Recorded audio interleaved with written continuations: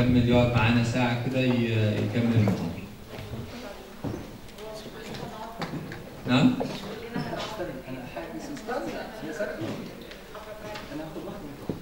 هو إحنا مشغولين لحد 4 ونص لحد 3 ونص. طب آه، دلوقتي معانا دكتور إبراهيم القماش من جامعة المنصورة هيكلمنا على ال plasma modeling النماذج الرياضية المختلفة اللي بنستخدمها في البلازما.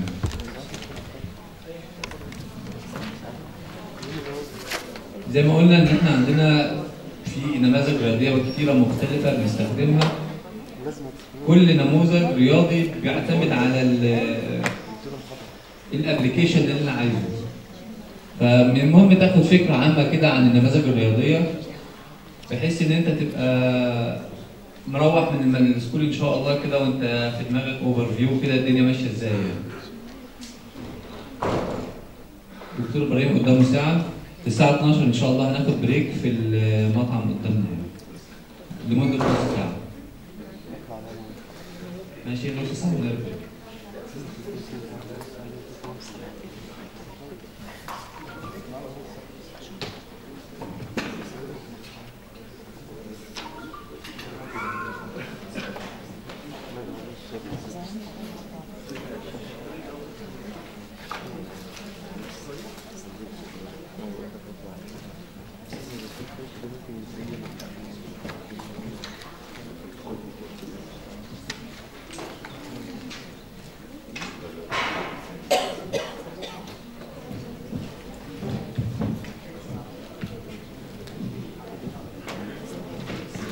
السلام عليكم آه، أنا رامي القماش مدرس التربيه النظريه آه، كليه علوم جامعه المنصوره آه، وزي ما الدكتور وليد قال أنا لسه طازه يعني زي ما بقول آه، خلصت الج- الحمد لله دكتور من الدكتور شمس على صوت الدين. يا دكتور آه، صوت عالي. آه، خلصت الدكتوراه في البي اتش دي في في انجلترا جامعة كوينز يونيفرستي لسه راجع شهر 6 اللي فات فلسه الفريش في البلازما آه، النهارده هنتكلم إن شاء الله عن plasma modeling أو بمعنى أصح أنت إزاي تتعامل مع البلازما. وزي ما بيقولوا في المثل العربي أو الحكمة العربية ال- ال- الحكم على الشيء أو التعامل على الشيء مع الشيء فرع عن تصوره. وبالتالي لازم إيه تصورك عن حاجة عشان تتعامل معاها على سبيل المثال مثلا في ال physics الضوء. لما أقول لك مثلا إيه الضوء ده؟ إيه تصورك عن الضوء؟ واحد يقول لك مثلا نيوتن قال لك إن هي جسيمات. وبالتالي أنت تتعامل مع ال- الضوء كجسيمات وتتعامل معاه معادلات الجسيمات. واحد يقول لك لا تاني التصور التاني يقول لك لا ماكس آه waves. وبالتالي أنا أتعامل مع الضوء كأنه waves وهتعامل معاه Maxwell's equation صح؟ واحد يقول لك لا ده كمان حسب الظاهرة اللي أنت تدرسها لو الظاهرة دي انكسار أو انعكاس يبقى إحنا هنتعامل معاها كجسيم. لو هو interference أو diffraction والكلام ده يقول لك إيه تعامل معاها كموجة وبالتالي اصبحنا إيه؟ طبيعة مزدوجة. وكذلك البلازما حسب التصور ليك تصورك للبلازما يتعامل معاها على سبيل المثال أنت مدرس رياضة أو أي ما أي physics مثلا دخل على class بتاع عيال صغيرة primary school مثلا. تصورك أو العدد بتاع ال class حسب العدد ده هيخليك تتعامل مع الطلبة. إزاي؟ لو العدد ده قليل خمسة ستة طلبة زي درس خاص ممكن تعمل إيه؟ تاخد تقعد مع كل طالب مع ال course بتاعه وتشرح له بالتفصيل صح؟ وبالتالي ال individual behavior السلوك الفردي مهم في الحتة دي. عدد قليل أعرف أتعامل معاه. طب كده؟ وده أول آه يبقى ده أول حاجة. يبقى أول حاجة البلازما زي ما خلاص الكلام يعني هي collection of charged particle بتعمل إيه؟ collective behavior خلاص عدينا المرحلة دي. في موديل مختلف حسب التصور. التصور لو زي ما كده حسب العدد. لو العدد قليل وال individual behavior اللي هو السلوك الفردي مهم حاجة اسمها ال single particle model بيهتم جدا بالتفاعل أو أو السلوك الفردي طب لو مثلا زي انجلترا مثلا عدد مثلا 20 واحد في ال class بيعملوا إيه؟ بيعملوا group توزيع. يقول لك مثلا يقول لك مثلا مدى الاستيعاب الطالب من 0 ل 100 الطلب. خلاص؟ يقسم لك ال- ال- class ده وليكن خمسة group من 0 ل 20% يحطهم في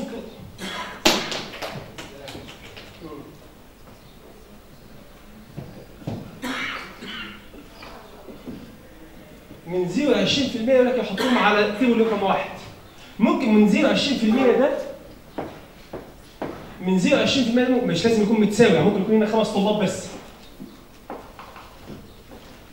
خلاص؟ وبعد كده من 20 ل 40 يقول لك كذا. وبالتالي هو بيقسم الطلبه statistics عشان يتعامل معاهم. وبيتعامل كأن كل جروب ده كأنه واحد. وبالتالي ال 20 طالب أصبحوا خمس طلاب بس. كل مجموعة بيتعامل معاها كأنه فرد خلاص؟ بس في شرط طبعا هنتكلم في ده في التفصيل لما نخش على النظريه دي.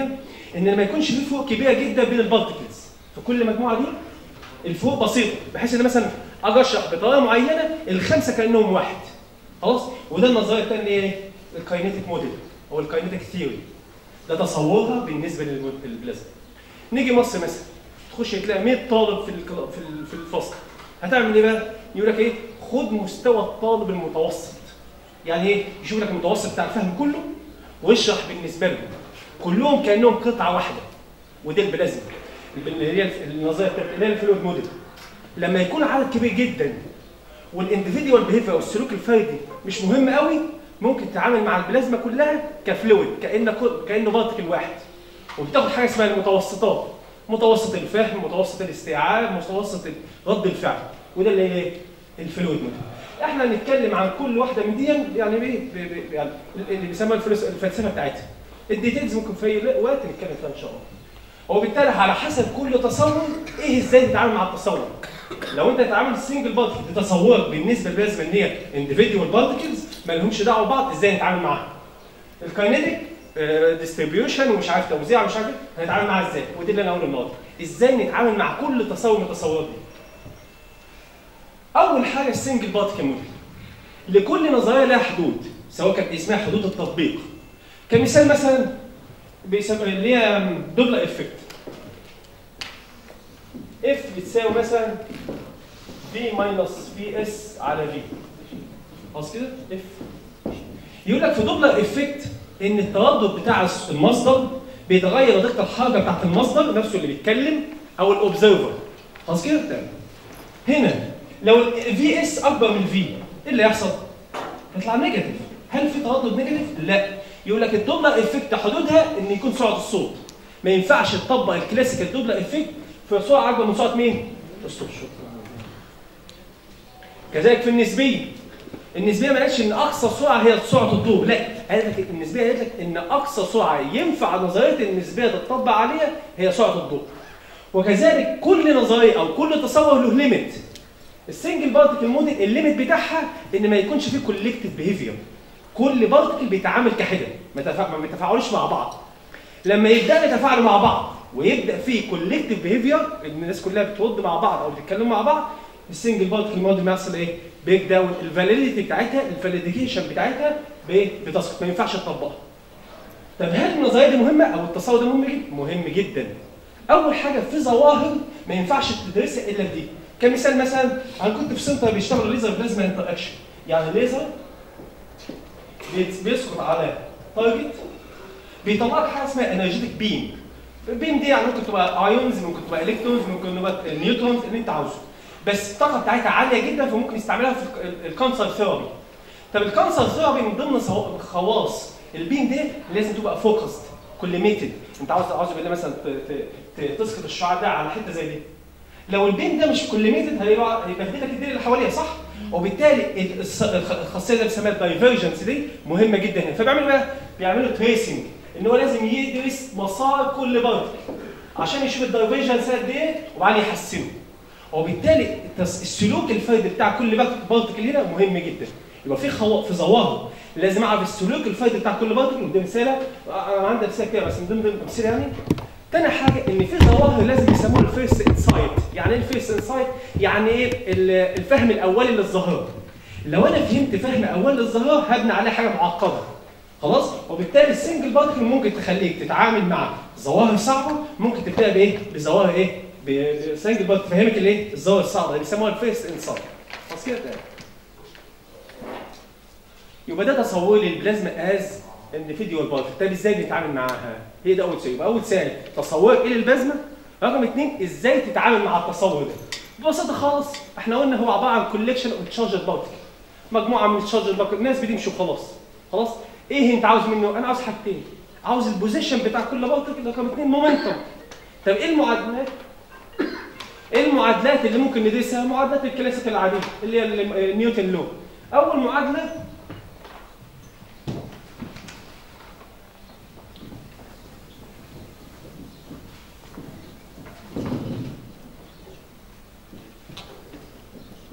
أول معادلة بندرس ال position حيث ال i اللي هو ال vector بتاع ال position وال i ممكن أي particle عدد ال particle اللي أنت عاوزها وبالتالي أول معادلة التغير الكلي اللي بالنسبة لل r delta t على تساوي ال r. ده vector وده vector.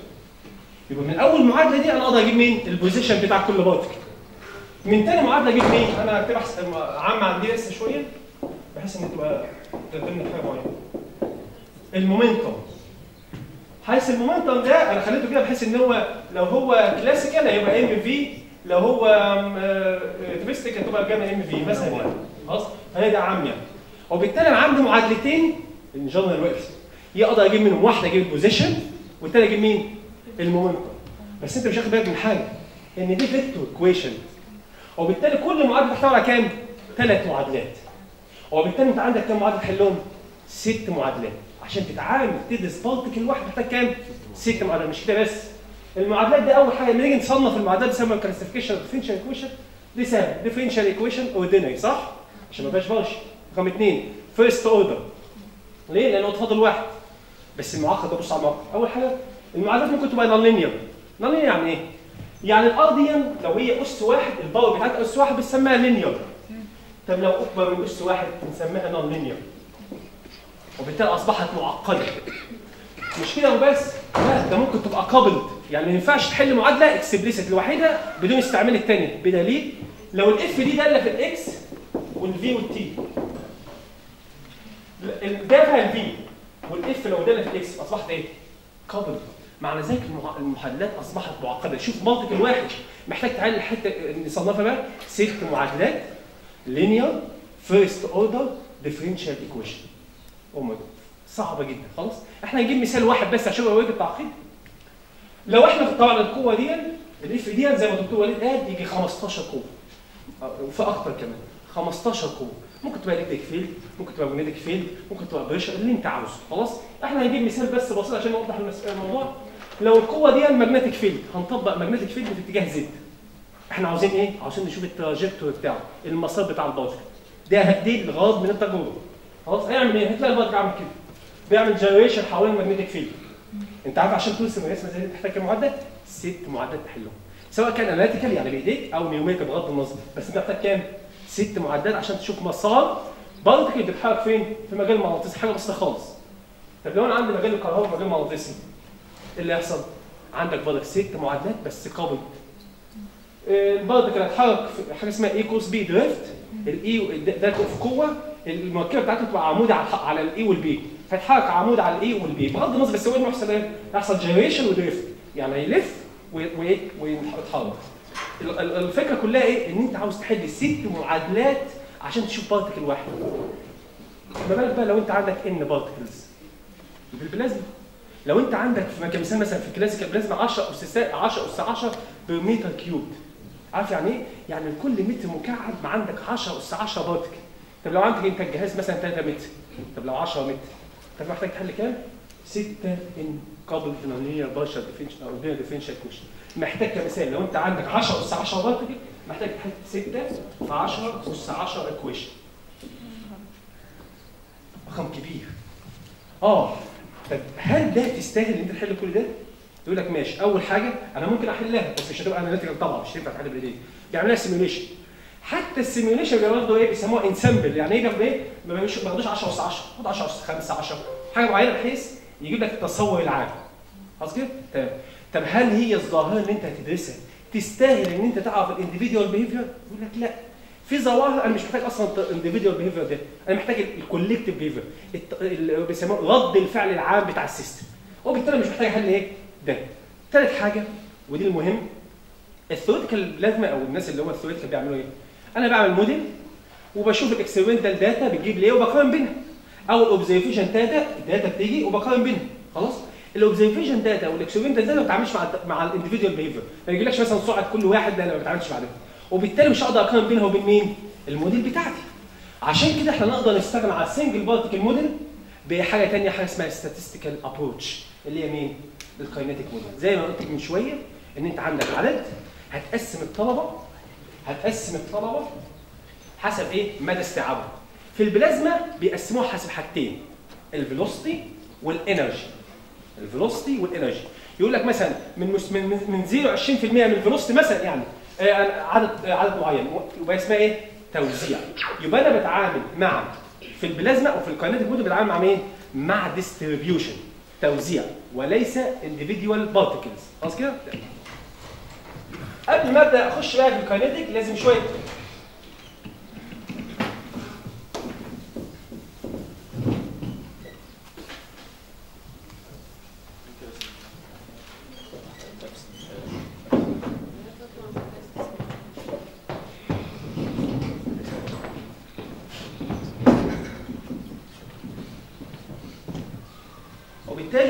اخش في ال- في ال kinetic model حاجة اسمها ال physical terminology المصطلحات الفيزيائية اللي أنا هستعملها في الموديل.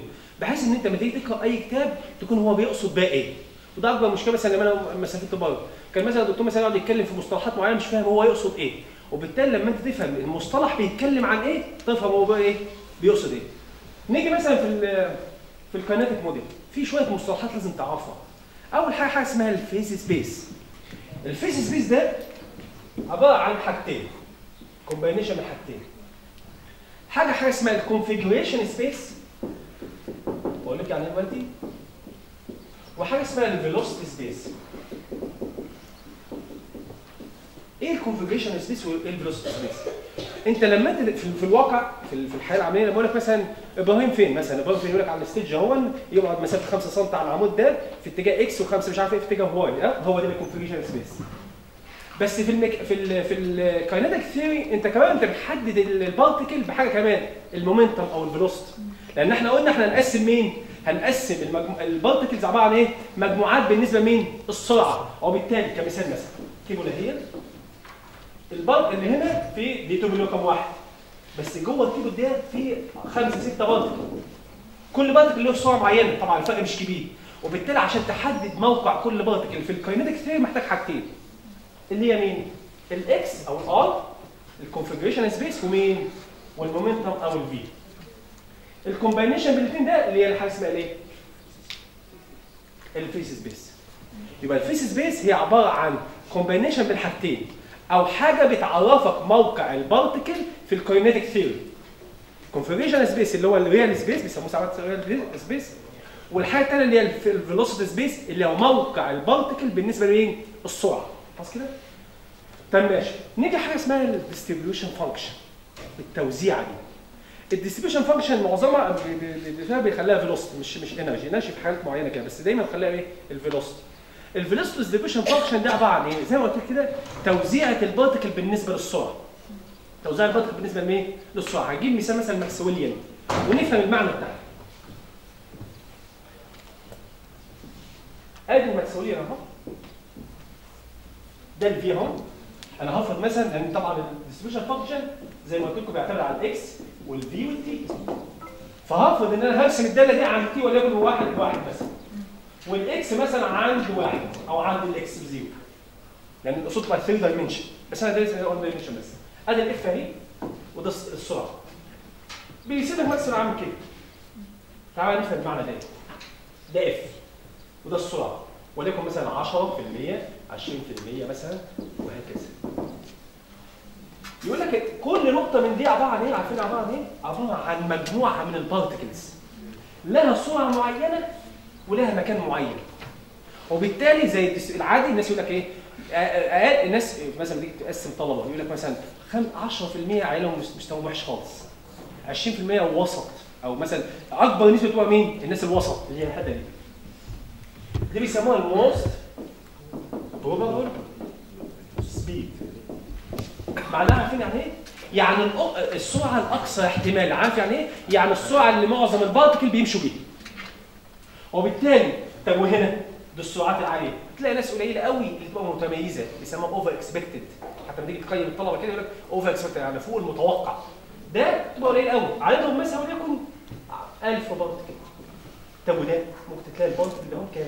يجي 10 اس مثلا 8 برضه مش المفروض دي تكون normalize العكس إيه؟ مش المفروض هي نورمالايز مين نورمالايز ماشي ماشي أنا بتكلم على المعاني بس معاني وبالتالي الاف ده عباره عن إيه؟ الدنسيتي بروبابل يعني إيه؟ يعني الكثافه المحتمله بيونت سبيس فوليوم الكثافه المحتمله بتاع كل فوليوم دي خلاص؟ تمام طب اختيار الفوليوم فاكر لما كنت ماشي خطاطه بقول لك من صفر ل 20 من صفر ل 20 دي مش سهلة. مش معنى انت جبت 20 آه يقول لك لا فيها شروط ال volume بتاع ال v space ده اللي هو dx. dv؟ ده فيه شروط كتير جدا عشان تحققها. أول شرط إن ما يكونش صغير جدا. ال volume ده صغير جدا بحيث إن أنا بتعامل مع particle صح؟ لما أنا أصغر يبقى عدد ال particle خمسة. يبقى أنا كأني بتعامل مع individual صح؟ يبقى هو صغير بحيث ما يبقاش صغير صغير. بس ما يبقاش صغير بحيث إن أتعامل مع individual particle رقم اثنين كبير بس. دي الشرط المهم بقى. ما يكونش كبير بحيث إن ال particle دي الفروقات بينهم كبيرة. دي مهم جدا. أنا عاوز بتعامل مع طلبة الخمس طلبة كأني لما أجي اشرح لهم بشرح لهم بطريقة معينة واحدة بس.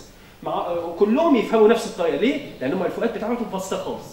كس- على سبيل المثال لو بيدرسوها إزاي مثلا عندك electric field لو عندك ال electric field ده التغير بتاعه وليكن كل واحد مايكرو يعني مثلا أنت عندك electric field أهو. ممكن يمشي كده. صح؟ ممكن يمشي كده. مثلا ده عاوز كده. لازم. التغير بتاعه وليكن مثلا التغير ده وليكن 1 مايكرو يعني بيزيد ويقل في 1 مايكرو لازم ال volume ده يبقى أقل بكتير من مين؟ من 1 مايكرو بحيث إن ال particle اللي موجودة في ال volume ده تحس كلهم بنفس شدة المجال الكهربائي فهمت الفكرة؟ إن أنا عاوزك تحس بنفس الخاصية كلنا نحس بيها هي دي طريقة الشرح. لما يكون عندك كلهم تقريبا مستوى واحد فتشرح لهم بطريقة واحدة. ده حتى مثلا في الجيتار مثلا ممكن في نفس ال class يدوا منهج مختلف. كل table لها منهج مختلف في ال reading في في ال math. كل ما كل table كذلك. هنا. لازم ال volume ده شرطين.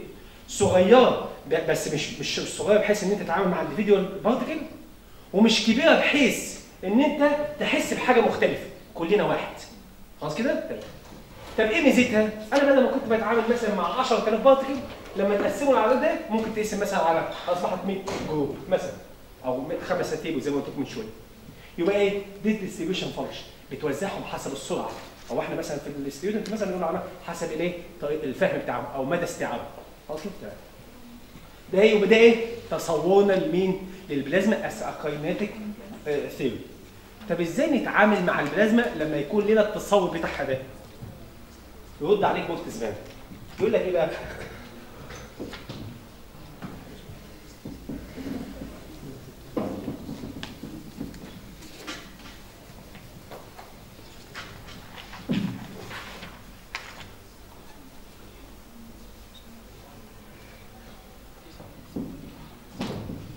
يقول لك إيه مثلا زي ما الدكتور شرح وليد شرح اول اول اول أول seminar إن البلازما عباره عن جاز صح؟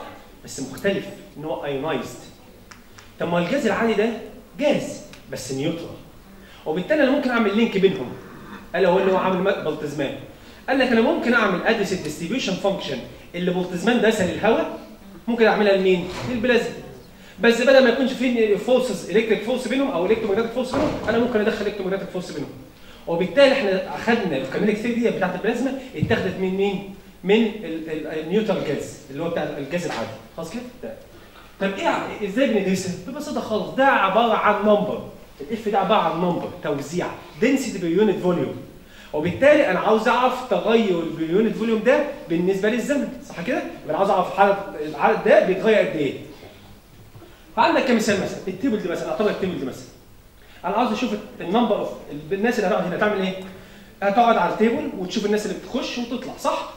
ويزيد يقل خلاص كده تمام لو زاد يبقى ال f ده تطلع موجب. ال term سيبك من ال term ده فاهم دلوقتي معناه دلوقتي خلاص؟ اللي هو ال partial f ده ال collision ده هنعرف معناه دلوقتي طب لو هو بيقل يبقى العدد هيطلع سالب. هي عدد ال distribution function هيطلع سالب. خلاص كده؟ ال f دي ثلاث حاجات. ده ال term ده ثلاث حاجات. ممكن يبقى ionization يعني إيه ionization يعني مثلا أقول لكم مثلا مش في الكيمياء بس مثلا حاجة زي NaCl مثلا.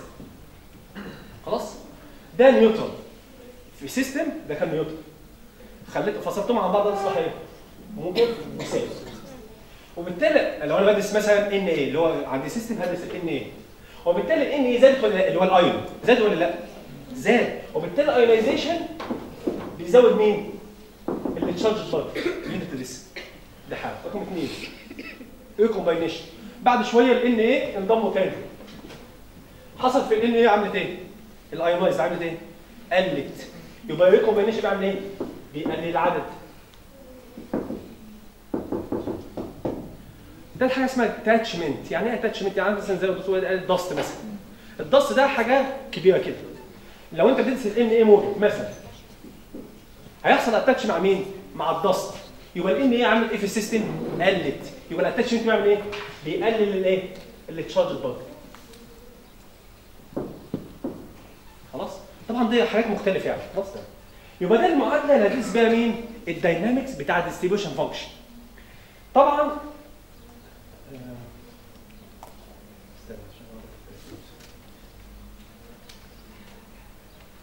ماشي أنا قلت بعد رجعت ماشي. ال- اللي هو ال function ده ال coefficient ده حسب الشكل بتاعه بيختلف باسم المعادلة. يعني تقعد تتخيل لك ده Boltzmann equation ده مش عارف إيه. هي الصح ده فهمت ده اسمها kinetic theory أو plasma kinetic equation ده الصح. اللي اللي هو طبعا مش حاجة اسمها دي مصطلحات ممكن تغيرها لا في الدين ولا جاي لا مشاحه في الاصطلاح بس المهم المعنى. خلاص؟ وبالتالي هي اسمها plasma kinetic equation حسب ال term ده بيعيدوا تسميتها. كمثال لو ال term ده Boltzmann coefficient ال collision ده ناتج عن Boltzmann اللي هو التصور بتاع ال discrete إن هم الاثنين بيتحركوا مع بعض بيسموها Boltzmann equation لو ال f ده اللي هو ال coefficient اللي على الطرف اليمين ده بيسموه Fokker-Planck coefficient بيسموا معادلة اسمها إيه؟ Fokker-Planck equation طب لو ال term ده بصفر مفيش collision ال number ما بيزيدش ولا بيقل يعني لا آه، آه، لا يفنى ولا يستحدث من العدم اللي هي الطاقه يعني خلاص هنا الباطل بيسموه إيه بقى؟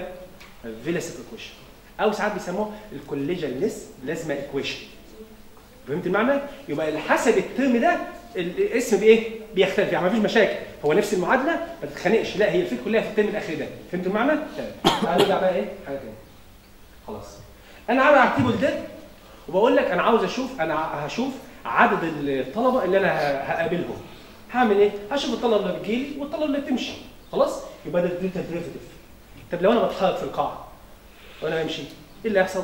آه الكمية الفيزيائية اللي بدرسها بتتغير تغير نتيجة الإيه؟ الحركة وأنا ماشي قابلت اثنين وأنا ماشي قابلت ثلاثة يبقى كمان الكميه الفيزيائيه مش بتتغير بس حسب المكان لا ده كمان بحسب الحركة بتاعتها. وده حاجة اسمها الايه؟ ال convective derivative هنشرحه بسيط خالص.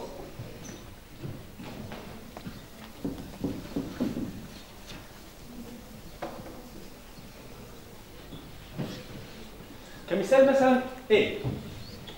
الكمية الفيزيائية اللي أنا بدرسها هنا دالة في التي والإكس. في التايم أنا قاعد على ال- البتاع والتايم بيتغير السوبوتش الطهاره ناس بتجيلي وناس بتخرج لا ده كمان في إيه؟ تغير بالنسبة لإكس. خلاص؟ فلما أجيب التغير الكلي بالنسبة للظاهر الظاهر ده ممكن تكون إيه؟ ممكن تكون آه، فلكس ممكن تكون دنسة أي كمية فيزيائيه هي إيه؟ هعمل إيه؟ هقول ال dA؟ التغير الكلي عبارة عن إيه؟ التغير وأنا قاعد في المكان بتاعي يبقى partial إيه؟ عشان كده أصبحت إيه؟ تغير جزئي مش كلي. فأنا قاعد أهو بيسموه ساعات بيقول لك x بيساوي x zero. خلاص تيجي منين؟ الحركة. تيجي إزاي؟ يقول لك partial A على partial x dx على مين؟ على dt نتيجة مين؟ الحركة. ما دي دي مين بقى اسمها إيه؟ السرعة.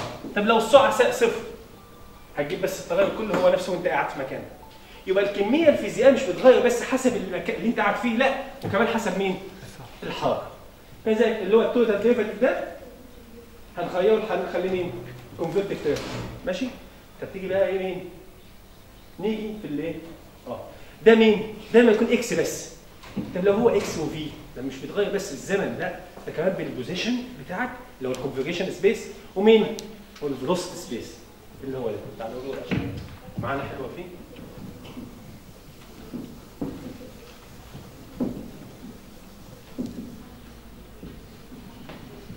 دي مثلا دي إيه على دي تي ده دالة في الدي والاكس والفي تغير حسب الحركه آه، في المكان نفسه وعن تغير بارشل إيه على بارشل إكس دي إكس دي اللي هي في في الكونفيجريشن سبيس وحاجة كمان مين؟ ها؟ أيوه الفيلوسيتي سبيس بارشل في على بارشل دي أو دي وبالتالي الكمية الفيزيائية مش بتتغير بس حسب الزمان ولا المكان بس ده, ده حسب ال position بتاعك في ال velocity في إيه؟ space ده عبارة عن إيه؟ ده عبارة عن partial t مش مشكلة أهو وده عبارة عن سرعة وده عبارة عن إيه؟ acceleration صح؟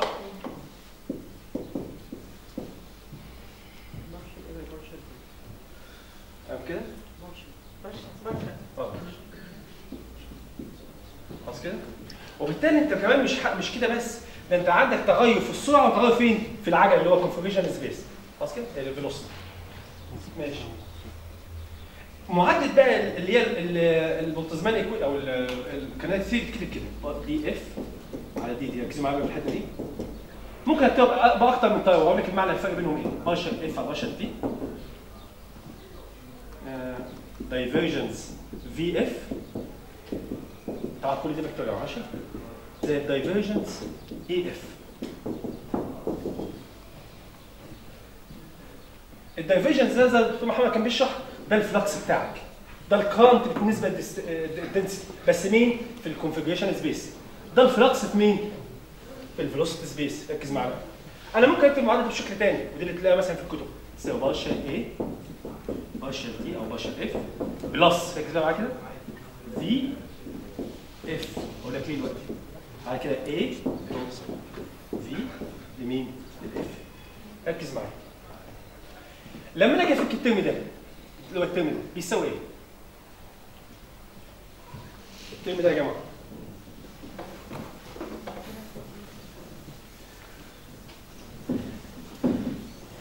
Divergence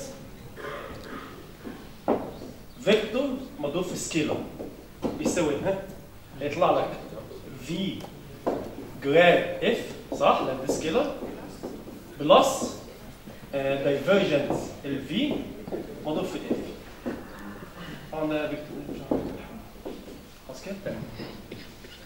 طب إيه الفرق بين ده وده؟ ال term هو المختلف ال term ده بيساوي كام؟ صفر صح؟ ده هو ده طب وال term ده فين؟ راح فين؟ بيساوي صفر فيقول لك بقى إيه؟ إن مفيش divergence لل distribution function فين؟ في ال في ال في ال في, في ال velocity space في ال configuration space دي بيسموها in compressible يعني غير مضغوط وبالتالي السرعة لا تعتمد على ال x independent of x لأن لو تعتمد تقدر إيه؟ تفاضلها صح؟ وبالتالي لا تعتمد على ال x معناها إيه؟ معناها ال divergence بتاعها يساوي إيه؟ بيساوي صفر بيسموه incompressible يعني غير مضغوط ده في مين؟ في ال configuration space فتيجي نخش في ال velocity space نفس المعنى هتلاقي إن ال divergence بتاع ال a بيساوي صفر معناها إيه؟ معناها إن ال a ليست على ال v التغير بالنسبة لي ليست داله في مين؟ في ال v ويقول لك incompressible في مين؟ في ال velocity space معادله مهمه خلاص كده؟ يبقى ده اصبحت المعادله الأخيرة بتاعت ال kinetic theory. هكتبها ونتكلم عن كل term وال details mathematics مش إيه في أي وقت انت عاوزين يعني نتكلم مع بعض.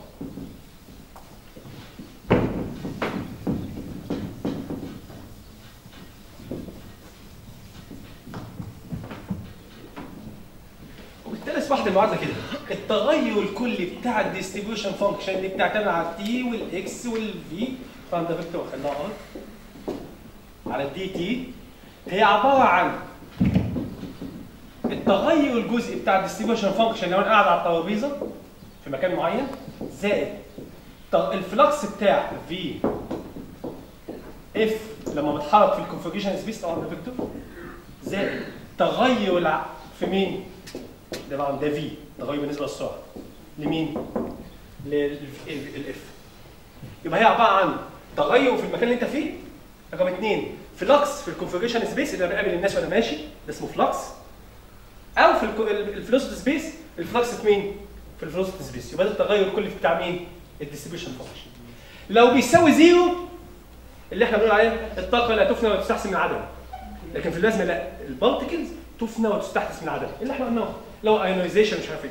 لو هي بصفر يبقى القانون ده يطبق ال particle لا تفنى ولا تستحدث من عدم ما فيش ionization ما فيش إيه combination ما فيش إيه attachment طب لو في ما بيساوي الصفر حسب بقى ال phenomena اللي انت بتدرسها. هل هي discrete يعني اثنين بيتخبطوا بعض زي ال neutral gas يطلع لك Boltzmann Fokker Planck لا collective behavior في electric field و magnetic field ومش عارف وهكذا. تمام كده؟ ده الشكل اللي أهو ده سهل ده. آه ماشي خلاص يبقى أنا ال dynamics بتاعت ال system عبارة عن بعمل إيه؟ بدرس السلوك بتاع مين؟ ال distribution function في ال single particle كنت بدرس إيه؟ بدرس ال position وال momentum بتاع كل particle لا أنا في ال kinetic theory بدرس التوزيع بتاعت الطلبه كل table هتتحسن ولا لا؟ الواد هيتنقل من الترابيزه دي ولا لا؟ المجموعة دي تبقى بدل ما كانت من 20% تتنقل من 30% ولا لا؟ يبقى بدرس مين؟ ال dynamics بتاعت التوزيع خلاص كده فاهم الفرق بين الاثنين؟ تمام. طب خلاص أنا درست ال dynamics هستفيد إيه؟ هو إحنا في مثلا في المعامل ما بيعرفش يجيب distribution function صعبه جدا. خلاص كده؟ طب بيعملوا بقى؟ بيجيب حاجة اللي اسمها الايه؟ ال average. اللي هي الايه؟ ال average بتاع الايه؟ ال system. المتوسطات. طب نجيب المتوسطات إزاي؟ المتوسطات خلاص كمثال مثلا أنا عاوز أجيب أنا عندي مثلا ثلاث أولاد مثلا عند مع كل ولد مثلا عدد معين من الفلوس أنا عاوز في الآخر كلهم يبقى نفس العدد نفس ال money فلوس. هعمل إيه؟ انت معاك 2 جنيه هاتهم. ده 3 جنيه مختلفين اهو ال number مختلف 2 جنيه زائد 3 جنيه زائد 5 جنيه في الآخر اجمعهم واقسمهم على إيه؟ على العدد. ال units هي عبارة عن مين؟ الباقي الجنيه المصري صح؟ طب لو أنا عايز مثلا momentum هعمل إيه؟ هجمع التوزيعات دي وأضربها في ال momentum وأقسمها على العدد كله يطلع لك الإيه؟ ال momentum المتوسط اللي هي كميه الحركه المتوسطة. طب أنا عاوز أشوف ال energy المتوسط هعمل إيه؟ هجمع distribution function أو هجمع الباتر زي ما الدكتور محمد قال هي عبارة عن اللي هي ال distribution function أو التكتفل دي عبارة عن تجميع هجمع هجمع هجمع واضربهم في مين؟ في ال energy واقسمه على العدد الكلي يطلع لك ال energy المتوسط ودي اللي بيعملوه في ال kinetic theory بعد ما يدرسوا يحل المعادلة دي بعد ما يحل المعادلة دي دي دي, دي معادلة في إيه؟ في ال F المتغير اللي فيها ال- ال- اللي بيسموها ال independent أو ال dependent variable المتغير فيها اللي هي مين؟ ال F حليتها يبقى أنت جبت مين؟ distribution function طب بعد ما جبت distribution function هتعمل إيه؟ الموديل يقول لك أنا عاوز أقارن بين ال experimental data أو ال observation data. تقول لك خلاص تعالى بسيطة خالص. خد حاجة اسمها ال moments. ال moments معناها ال average. خد average بتاعت مين؟ بتاعت ال distribution function لو انت عايز تجيب العدد الكلي ما زي ما قلت كده. خمسة على الترابيزه دي وخم... و10 على الترابيزه دي. ومش عارف على الترابيزه في الآخر لما تجمعهم كلهم يطلع لك إيه؟ العدد الكلي. يبقى أنت لو كملت على ال distribution function يطلع لك مين؟ العدد الكلي. يبقى ده أول حاجة. بيسموها ال zero moment خلاص كده؟ طب لو أنا عايز ال momentum هعمل إيه؟ اضرب ال distribution function اللي هو العدد ده في مين؟ في ال momentum وكمل عليه. يطلع لك average momentum أو نقسم على ال N يعني. كده؟ طب لو أنا عايز ال energy اضرب ال distribution function في ال energy يطلع لك مين؟ ال average energy خلاص كده؟ وبالتالي تقدر تقارن بين بال observation data ماشي. طب خلاص طب أقول لك إيه؟ طب بدل التعقيدة دي طب ما أنا كده كده عاوز ال average طب ما فيش طريقة أدرس ال average مباشره يقول لك آه طبعا في ممتاز في طريقة تقدر تدرس بيها ال average بس ملحوظه زي ما قلت بقى على ال single particle لازم تدرس في حاجات معينة لازم تدرسها بطريقة ال single particle كذلك ال kinetic model في حاجات معينة لازم تدرسها بال kinetic model زي حاجتين مثلا. بيقول لك مثلا لما يكون الظاهرة بتاعتك دي التغير بتاعها small scale يعني إيه؟ بيتغير كل مسافات صغيرة كل مسافات صغيرة يعني المسافة بين ال group وال group صغير لازم تدرسها بال kinetic model ده واحد. رقم اثنين. زي مثلا إن شاء الله الدكتور وليد يشرح لنا حاجة اسمها ال instability أكتر من أكتر الحاجات اللي لازم تدرسها حاجة اسمها ال velocity instability ال two instability ومش عارفة لازم تدرسها بايه؟ kinetic theory. اللي تعتمد على ال behavior بتاع الايه؟ ال group بتاعت كل واحدة خلاص؟ يبقى كل حاجة ليها limits خلاص؟ إيه ال limits بتاعت ال kinetic اللي يودينا لل fluid؟ آه. يقول لك لما يكون ال wavelength كبيرة. أو يقول لك ال K لما تروح لل zero. لما نيجي نعمل لما نيجي مثلا نكتب بحث ولا حاجة يقول لك أنا عاوز عملتها kinetic عاوز احصل على ال fluid تعمل إيه؟ حط ال K ال limits بتاعت ال K اللي هي ال wave number اللي عكس ال wavelength حطها ب zero يعني انت عملت إيه؟ يعني ال scale بتاعك كبير قوي. ال individual group دي مش لهاش تأثير. وفي الآخر تقدر تجيب مين؟ ال average quantity يبقى كل حاجة لها limit بداية ونهاية. خلاص كده. نيجي على ال fluid مونر ماشي؟ ال fluid زي ما قلت انت زي ما انت بتقول بقى خلاص ده درست ال kinetic theory وفي الآخر بتجيب ال average طب ما فيش طريقة أخش على ال average مباشرة أدرس ال average قال لك آه ببساطة. زي ما انت خدت ال moments بتاعت ال distribution function جابت لك ال average quantities زي مثلا ال number particle زي ال momentum زي ال kinetic energy يقول لك خلاص. المعادلة بتاعت ال distribution function لو أخدت ال moments بتاعتها يبقى هي دي المعادلات اللي تدرس بيها ال moments. خلاص كده؟ يبقى ال distribution function دي معادلة المعادلة دي distribution function أنا عاوز أجيب معادلات تدرس ال moment اللي هي معادلة إيه؟ واحدة تدرس ال n اللي هي ال number density واحدة تدرس ال momentum واحدة تدرس ال energy أعمل إيه؟ اضرب في كل moments أنت عاوزها زي moment اللي هو ال number density ال first moment اللي هو ال momentum ال second moment ال energy and so on ماشي؟ هيطلع لك معادلات بتدرس مين؟ المعادلات اللي بتدرس ال average quantities على سبيل المثال لو أنا ضربت المعادلة دي في. ما ضربتش حاجة كملت عليها بس هيطلع لك معادله مين؟ ال continuity equation اللي محمد كان بيشرحها من شوية. التغير بالنسبة لمين؟ لل n لل n particle يبقى الكلام ده التغير بالنسبة لمين؟ لل n اللي هو ال number density ده ال term ده اللي هو التغير وانت واقف في مكانك. طب وده؟ لا ده ال flux. ناس أنا مثلا قاعد في الأوضة أهو عاوز أشوف التغير اللي في الأوضة دي عدد الناس دي. ناس بتخش وناس بتطلع. هو ده ال flux. لو ناس بتخش يبقى بالموجب لو الناس بتطلع منه إيه؟ بالسالب. يبقى العدد بيتغير بيزيد أو بيقل ده ال flux. خلاص كده؟ طب لو ال- ال- ال system ده incompressible يعني غير مفهوم هنفك ال term ده شايفين اللي هو divergence n u بتساوي فكها كده يطلع لك. divergence u grad n يعني هي scalar plus n divergence u ركزوا معايا لو ما لو ال velocity ما بيحصلش انضغاط يعني مش, مش شوية يمشي كده وبعدين افتحه تاني لا كلهم في خط مستقيم واحد التاني ده بيساوي صفر. اللي هو زي ما محمد قال ال divergence بيساوي صفر. وبالتالي اسمها incompressible fluid ودي اسمها fluid mechanics بس لازم غالبا إحنا لا عندنا incompressible خلاص كده؟ طيب. ال n دي بيسموها ال flux density flux إيه؟ density لو أنت بتتكلم عن number يبقى flux number flux density هنيجي مثلا معادله ثانية نتكلم على ال momentum يبقى momentum density و momentum flux تمام كده؟ ال term اللي هو ده اللي بيساوي ده بيساوي صفر. هنا ليه؟ لأن أنا فارض إن مفيش collision وبالتالي مفيش ionization مفيش attachment مفيش combination طب لو أنا خدتهم في الاعتبار؟ حطهم في الاعتبار. يبقى عبارة عن source term ده وليكن مثلا S كلهم S ولا إيه؟ attachment مثلا ionization ده ionization ده attachment ده recombination وبالتالي recombination وال attachment بيعمل بالسالب بيقلل لك العدد. أما ال ionization بيعمل إيه؟ بيزود عشان كده موجب. وبالتالي المعادلة دي بيسموها ال conservation of density عدد ال particle لا تفنى ولا تستحدث معاه بيساوي صفر. طب لو تف... لو تفنى يعني ال فتستحدث معاه لا بيساوي قيمه عشان كده بيسموها ال conservation law of density خلاص كده؟ أو number density تمام. ده أنت لما كمل معادله ببساطة خالص. وال details في أي كتاب. أقول لكم إن شاء الله في- يعني reference حلو يعني.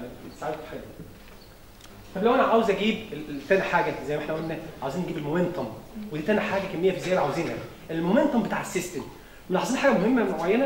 إن أنا دلوقتي بتعامل مع ال u دي ال u دي عبارة عن إيه؟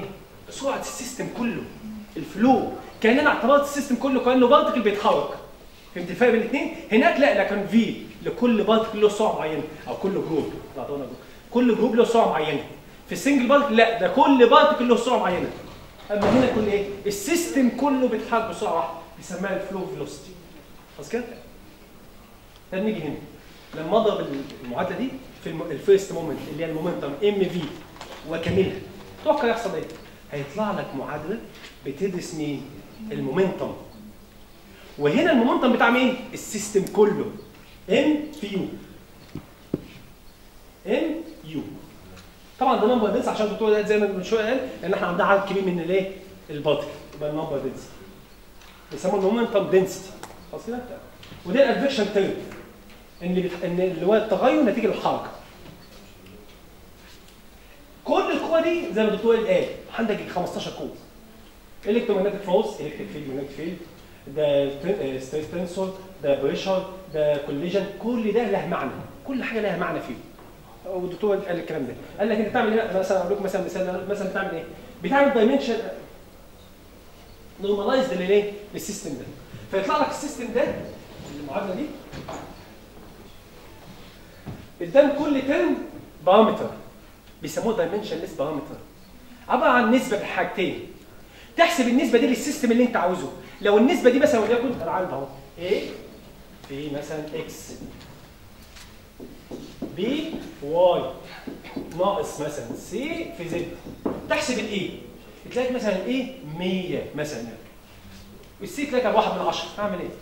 أعمل السي يبقى ال dimension quantities دي اللي إحنا اللي انت أو بيسموها ال parameters لما تيجي تحسبها وتطلعها إيه زي ما الدكتور قال كده بتقارن بقى. هل هي مهمة بالنسبة لي؟ هل لها تأثير كبير؟ يبقى يكتب اللي هو ده يحصل ده. كل قوى اللي بتاثر في أكتر من كده يعني بس دي يعني إيه؟ as example يعني نيجي مثلا كمثال قلت مثلا اتكلم على ال pressure ده. ال term ده. الابسايد ده ده tensor tensor ممكن يكون scalar ممكن يكون vector حسب ال rank بتاعه. لو ال rank بتاعه zero يطلع لك scalar طب لو ال rank بتاعه واحد لك vector اتجاه وده طب لو أكبر كده يبقى tensor second rank tensor في مثال يعني عشان تفهم ده لو أنا عندي ال pressure ال pressure ده كلهم في نفس الاتجاه واحد وبالتالي ما يعتمدش على الاتجاه فأصبح ال tensor أصبح إيه؟ scalar quantity اللي هو ال zero rank خلاص كده وبالتالي المعادله أصبحت بالشكل ده. آه ماشي. خلاص كده أنا هتكلم على التفصيل بعد شوية صغيره بسيطه طب لو أنا عاوز بقى أجيب ال energy يبقى أنا أول حاجة أول zero moment ال number density بعد كده عاوز أجيب ال momentum بتاع ال system عشان أشوف كمية الحركة بيدرس إزاي وبيتحرك إزاي وال flux بتاعته إزاي. عاوز أجيب بقى ال energy transport بيسموها ال energy transport equation أعمل إيه؟ اضرب المعادلة في في ال energy وكامل عليه. هيطلع لك ال average energy ودي معادلة ال energy transport equation ده بيسموه ال energy density دايما أول دي بيسموه ال energy density يعني ال energy بال unit volume ده بيسموه ال flux ده current ده كله اسمه flux لو ما فيش تغير في ال energy يعني الطاقة محفوظة زي ما إحنا بنقول ما فيش ما فيش heating مفيش يطلع لك بيساوي zero طب لو الطاقة غير محفوظة؟ في collision في heating انت بتدخل قوة من بره يطلع لك الكلام ده بيساوي كميات كل كميه من دي لها معنى. يعني مثلا زي ال collision ده وده heating وده لو انت flux يعني انت بتزق انت ال particle لو انت ال energy ما بتتغيرش الكلام ده كله بيساوي zero وبيطلع لك معادلة بيسموها ال equation of state دي واحدة. خلاص؟ طب لو هو ال energy تختلف. لا يبقى لازم تحط كل term من دي خلاص كده يا جماعة؟ تمام يبقى دي المعادلة تدرس مين؟ ال energy moment ال energy density ماشي. أنا ممكن تقعد ما خد بالك. أول واحدة أول معادلة. أنا ضربت من V أس zero. V أس zero كام؟ واحد. عشان كده بيساوي ال zero moment عشان بدرس مين؟ ال velocity distribution function. طب لو عاوز أدرس مثلا energy distribution function أعمل إيه؟ E أس zero. طب أنا عاوز ده المعادله الثانية V أس كام؟ واحد. first moment بتاعت ال velocity بتاع ال momentum equation في تاني في اللي هي ال kinetic energy نص m V square بتاعت عندي ماشي كده لا. في حاجة اسمها truncation أو بيسموها closure يعني إيه closure؟ أنا عاوز أغلق ال system. أنا كل ما يطلع لي معادلة لو أنت لاحظتم بص ركز معايا الحتة دي. دي معادلة صح؟ معادلة واحدة. فيها كم متغير؟ اثنين n ومين؟ u ما زي ما معادله ثانية اللي بتحل مين؟ ال u هطلع في ال u هطلع معادله مين؟ هتلاقي مين؟ ال pressure اللي هي دي ال pressure أنا عاوز معادله تسلز ال pressure اعمل إيه؟ هيطلع معادله ال pressure فاهمين؟ ال Q ال heat ها وهكذا وأنا عاوز أعمل إيه بقى؟ أعمل حاجة اسمها truncation أو closure لل system of equation لازم ال system ده يبقى closed كل حاجة عدد المعادلات بيساوي عدد المتغيرات ده معروفه خالص طب اعمل إيه بقى؟ يقول لك خلاص لو أنت عايز تعمل closure أو truncation عند moments معين لازم تفقد معلومة من ال system. لازم تفقد إيه؟ معلومة. أنت كل ما تضيف معلومة كل ما تضيف equation ليك معلومة جديدة. طب أنا عاوز يا عم mathematics كتير قوي صعب عليا خلاص. أنت مش عاوز كده خلاص. أنا هديك معلومة جديدة. أنت تفرض معلومة بس من هنا هتفرض المعلومة دي ال details بتاعتها. إيه هي المعلومة اللي إحنا بنفقدها؟ بيسموها حاجة اسمها ال equation of state معادلة الحالة. وهي علاقة بين ال pressure وال number density وال T خلاص؟ ما انت كنت محتاج معادلة ثانية تحل وهكذا heat ومش عارف إيه قال لك خلاص انت عاوز مش عاوز معادلة ثانية ال Q خلاص. افرض انت معلومة من عندك بس انت كده مش هتفرض مش هتعرف ال details بتاعتها. يبقى انت لما بتفرض حاجة اسمها ال closure أو ال truncation يبقى انت بتفرض معلومة. خلاص كده؟